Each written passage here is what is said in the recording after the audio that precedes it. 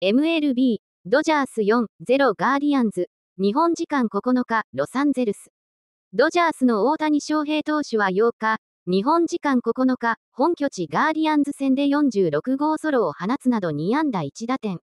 史上初の46本塁打 &46 盗塁、46の46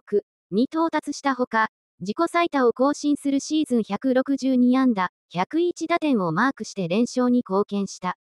試合後の一問一答は以下の通り、グラウンドでのインタビュー、接戦を制した、シリーズに勝てて、ガーディアンズに2勝1敗、良かったです。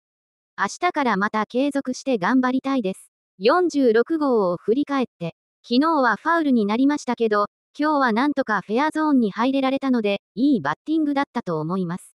感触は、落下点は見ていたか？落下点は見ていなかったですけど、自分でも確認したので、しっかりフェアゾーンに収まってくれてよかったと思います。46号は自己最多タイで162安打と101打点は自己最多。1番を打っているので、打席が多いのでその仕事がしっかりできれば。ホームランを打つこと以外にも、出塁してしっかり進塁することを心がけたいと思います。